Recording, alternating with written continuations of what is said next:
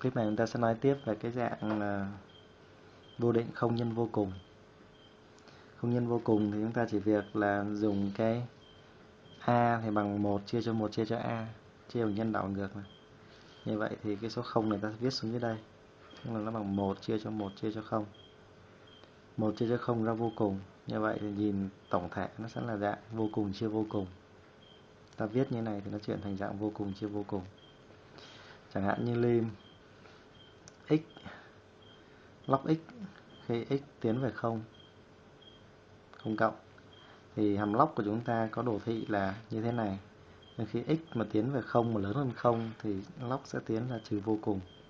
Vậy thằng này có dạng là không nhân vô cùng. Thì bằng cách biến đổi giống như trên thì người ta viết x thành 1 chia cho 1 chia x.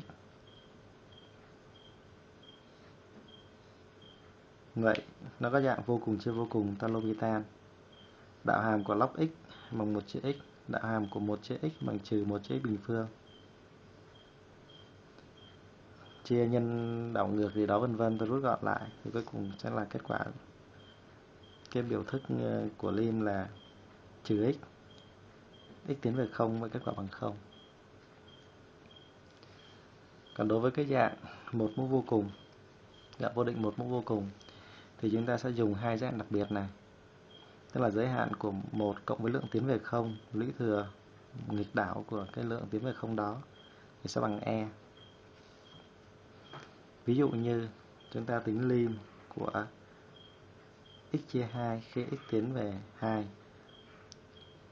à, x chia 2 lũy thừa 1 chia cho x trừ 2 khi x tiến về 2 như vậy để có cái biểu thức dạng là 1 cộng với lượng tiến về 0 thì chúng ta sẽ thêm 2 bớt 2 vào tử 2 trừ 2 hết, vẫn là x chia 2 thôi. Ta dùng cái công thức a cộng b chia c thì bằng a chia c cộng với b chia c. Và chỗ này sẽ là 1 cộng với x trừ 2 chia 2 tất cả lũy thừa nhé, x trừ 2 1 x trừ 2 như vậy, muốn dùng được công thức E thì chúng ta sẽ phải là viết thành 1 cộng với x trừ 2 chia cho 2 lý thừa 2 chia cho x trừ 2 đây là cái lượng ta thêm vào. Vậy ta phải bớt ra là x trừ 2 chia cho 2 nhân với cái lý thừa cũ là 1 chia cho x trừ 2 vậy thì nguyên cái cụm này nó sẽ tiến về e. X trừ 2 đơn giản với x trừ 2 hết. Này còn lại là 1 phần 2 vậy đáp số sẽ là e lý thừa 1 phần 2